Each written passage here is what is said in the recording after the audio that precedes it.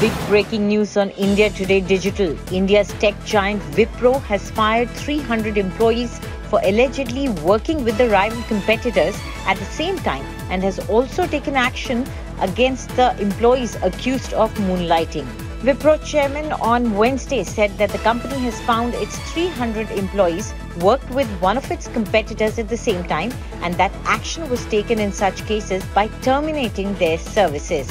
He reiterated his recent comments that moonlighting being a complete violation of integrity in its deepest form.